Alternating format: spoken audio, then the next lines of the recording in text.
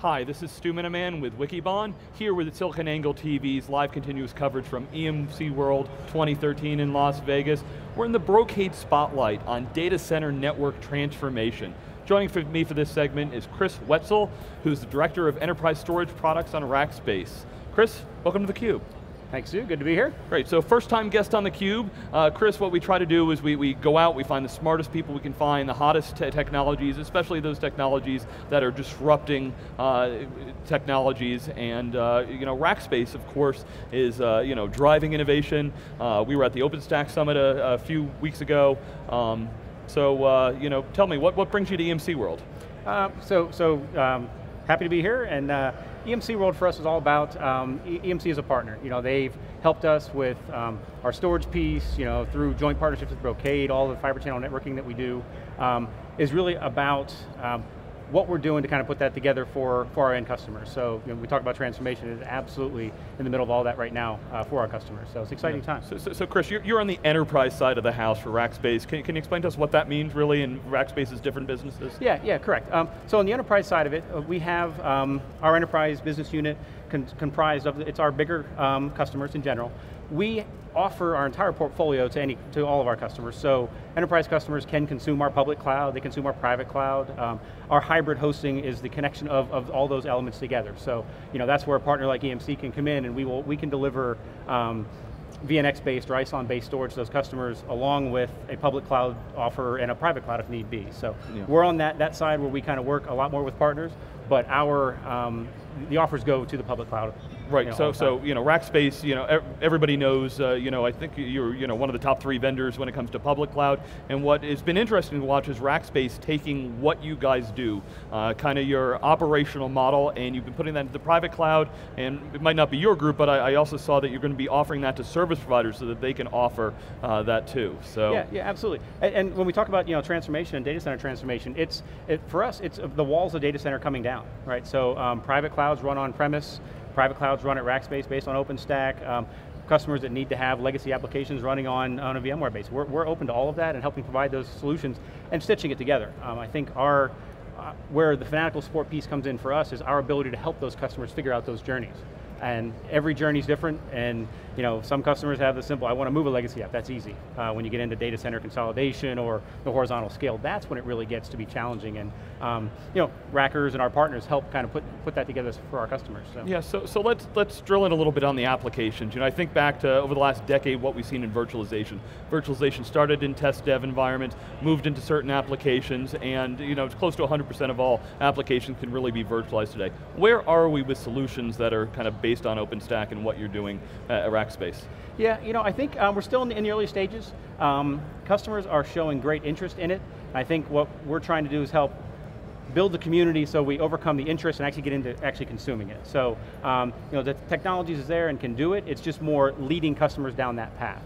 And that's where, you know, Rackspace being kind of a founding member of that, we're, we're very excited that our skill set allows us to help customers figure that out. Um, and what's nice from us is it, it, it opens up our, our reach to those customers to say whatever the best solution for you is. If it's, if it's on-prem and it's an, an OpenStack based cloud, we're good with that. You know, that's, if that's right for your business, we can help deliver that.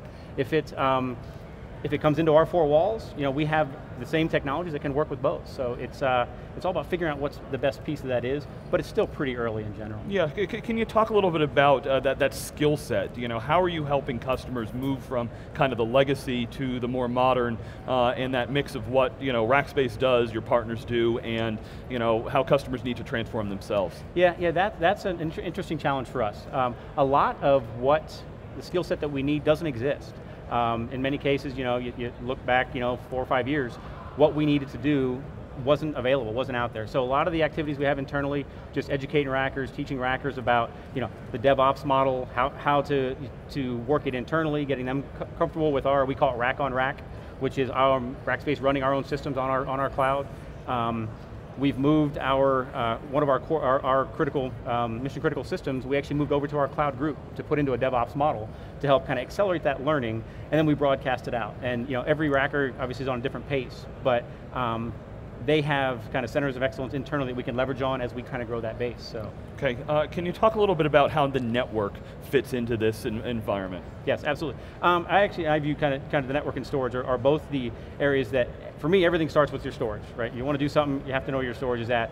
The network is the ability to get it from one place to the next. Uh, inside of Rackspace, you know, we, we've got you know, large data centers and our ability to make sure we can connect the right compute with the right storage for the customer, grow those environments and, and whatever pace they need to be is, a, is an incredible challenge. Um, we've had several you know, occasions where we bumped up against design limitations on, on hardware from you know, EMC or Brocade. Um, what's, what's powerful to us is the key partnership and, and helping us figure out what those design limitations are and then engaging with the right product teams to help overcome them is, is something that we, we value very much uh, and how it translates is, is our scale. You know, customers might do it once or twice, we're going to do it you know, hundreds or thousands of times. So we'll be able to overcome them and kind of provide solutions together quicker. Yeah, once, once again, referencing back to kind of the virtualization wave, uh, virtualization rippled and broke storage and networking, and, and, for cloud, oftentimes the network is seen as the bottleneck for uh, kind of configuration and innovation. So, you know, is the network kind of getting past that and uh, no longer being a, a detriment to getting to the cloud? Um, well, I think it, it's, it's improved. I think it, it all depends on kind of where you're at in that journey, right? You know, as we talk about storage growing from you know terabytes to hundreds of terabytes to petabytes. You know, there's a constant evolution of how we have to grow the network. The ability to move the data um, is it, it's a problem today, and it's getting better. You know, every every year. Um, I expect we have another you know couple years of, of, fixing that, or at least kind of continuing to raise the bar. Um, which is I think is a good problem to have because when you talk about things like you know big data and disaster recovery and all those kind of things customers want to do, it's, it becomes a lot about is the data where it needs to be, and if not, how does the network help us do that? Okay, so uh, in your involvement with Brocade, is it Ethernet only, or is there also fiber channel it's, in that? It's, it's, fiber channel. Okay, it's yeah. just yep. fiber channel? Um, it's, for myself, mostly fiber channel. Oh, okay, fiber channel. So talk to me a little bit about where we are with fiber channel uh, in, in, your estimation. Is, is 16 gigabit uh, is kind of the latest speed that we're at, but you know, what, why are customers using fiber channel, and, and what, what are the requirements uh, yeah. from, from, your standpoint well, when we look at cloud? Yeah, and what's interesting from our standpoint, on, on the, I'll use the enterprise uh, storage side using our, our shared SAN. Um, the nice thing is we've maintained pace that I, I actually view our fiber channel network based on the, the Brocade directors is, a, is an advantage for Rackspace. You know, we can deliver the performance um, well above what a customer needs at a cost that you, know, you can't touch with a dedicated device, um, and it just works. And that's kind of the, the power behind it, is that we don't spend a lot of time talking to customers about the performance of it, what do you need, it's more about how many ports do you need. We've got that capability.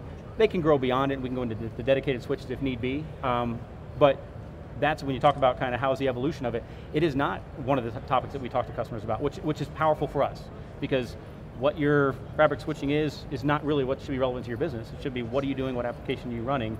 We'll make sure the infrastructure can deliver. Yeah, so, so, so maybe you can dispel some myths. People uh, have said for years that fiber channel is expensive, it's hard to manage, uh, and uh, you know, it's a data center technology, maybe it doesn't scale. Uh, is fiber channel a fine solution for kind of private and uh, hybrid clouds? Oh, absolutely, absolutely. Um, I, I, view it in some cases differentiating for us. You know, when we talk about um, what the performance char characteristics we need for some of our storage, fiber channel is one of the best ways for us to get it. So, um, now, is it complex? Yes, to a degree. Is it, is it you know, sometimes more costly than alternatives? Maybe. I think it depends on what your solution is. But for the use cases, for how we deliver it, it's very, very effective for us. Um, and again, it's, it's kind of the, the foundation that our, our shared SAN uh, runs on, which you know, is pretty massive.